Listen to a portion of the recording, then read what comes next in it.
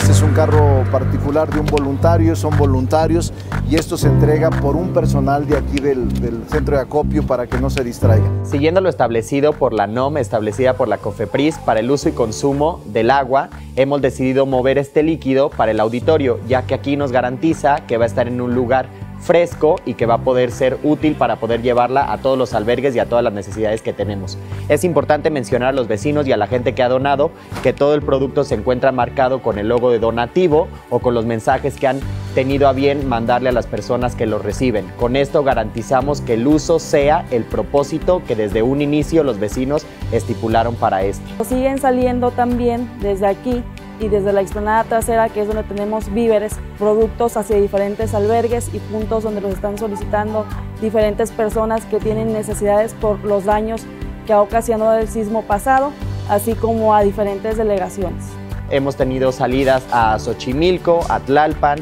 a Tláhuac, a Constancia en la colonia Morelos, a comedores en Santa María la Ribera, por supuesto a los cuatro albergues que tenemos instalados en la delegación, así como a otros estados que lo necesitan como Puebla, Estado de México, Morelos, Chiapas y Guerrero.